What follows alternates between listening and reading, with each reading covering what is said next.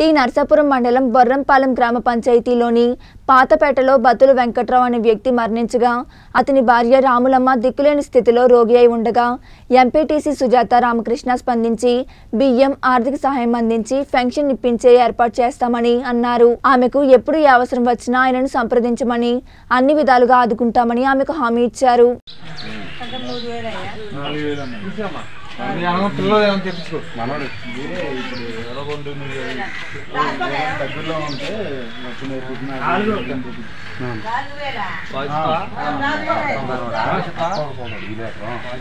Voice ఇద్దామా ఈయన వెం- వెంకట్రావు అని అతను ఎస్ఐపేట పాతపేటలో చనిపోవడం జరిగింది. అతని భార్య అయినటువంటి రోములమ్మ.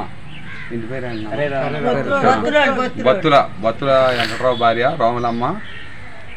ఆ భర్త చనిపోయిన బాధలో ఉండగా పరామర్శించడానికి వచ్చి ఆమెకు ఆర్థిక సాయం కింద రెండు వేల రూపాయలు నూనె రెండు కట్టల రైస్ అందజేస్తున్నాను.